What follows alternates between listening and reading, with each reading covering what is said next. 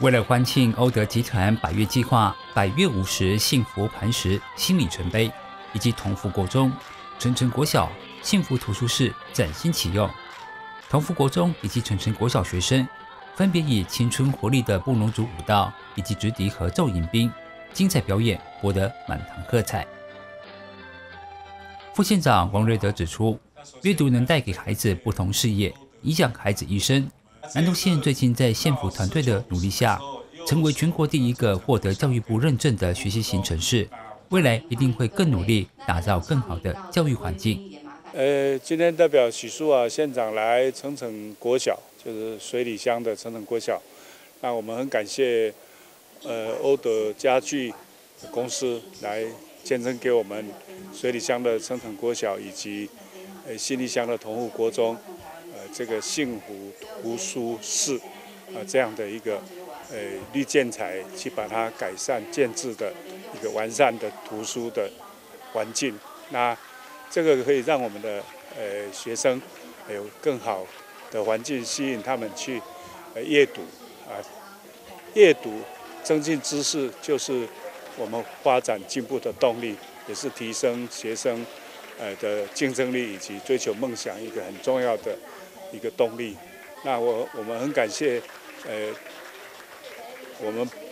欧德公司，它以这个建制一百所，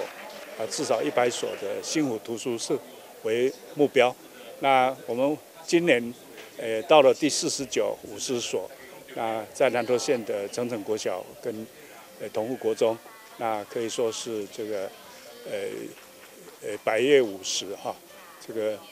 呃。这个幸福的磐石啊，所以对我们南投县创造诶进展到宜居城市来说，是有很大的帮助哈。特别是许县长诶特别重视在呃领头发展的之之外呢，我们希望全民宜居那这个育成是其中一个很重要的部分哦。从小朋友从出生啊，一直到他进入社会之前的整个的教育的过程的的这个促进哈。还有提升。欧德集团陈董事长指出，公司从二零零五年起成立百月公益计划，将客户的每笔消费金额提拨千分之二作为公益基金，投入提升孩子们阅读教育。西首学校以及县府为偏乡学校打造环保绿建筑的幸福图书室。在二零零五年的时候，我们欧德启用了百业幸福百业计划。那今年刚好是二零二三年，我们是迈向第五十所。那百越越读越幸福。我们虽然呃做了一半，另外的五十所，我相信我们会坚持的走下去。等到百越幸福百越计划完成的时候，我相信我们会有让更多偏乡的小朋友享受到阅读的幸福。